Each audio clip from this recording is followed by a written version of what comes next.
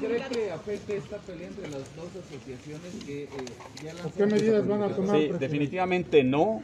Va a haber Mundial de Fútbol 7. Nosotros eh, escogimos a la Federación Internacional adecuada, que es la que ha organizado más campeonatos, que es la que tiene más años, es la que tiene más de 500 clubes participando, a más de 50 países.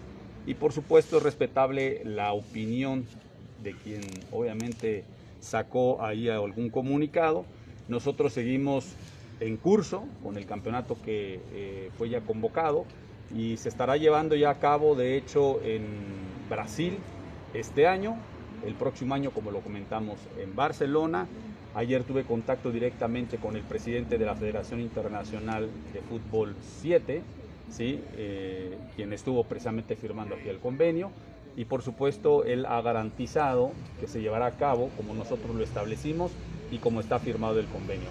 Así que habrá campeonato mundial de fútbol 7 en nuestro país y Puebla Capital será la sede. Presidente, ¿qué pasaría? Sí, quien va a demandar es la Federación Internacional que firmó el convenio con nosotros a la federación que dice ostentarse que tiene Pero no precisamente. retrasaría, digamos, el- No, absolutamente no. No Nosotros. Si quieres abundar, Toño, un poquito de la federación y el tema también de lo que mencionabas también de eh, las ventajas que tiene haber firmado también con la federación que nosotros firmamos. Claro, existen varias federaciones, ¿no? Pues, ustedes, ustedes saben el tema de, de, eh, por ejemplo, básquetbol, que existen dos federaciones, igual en el box existen varias federaciones. Nosotros nos fuimos con la federación más grande, con la que tiene más, países, con la que tiene la liga profesional aquí en, en México.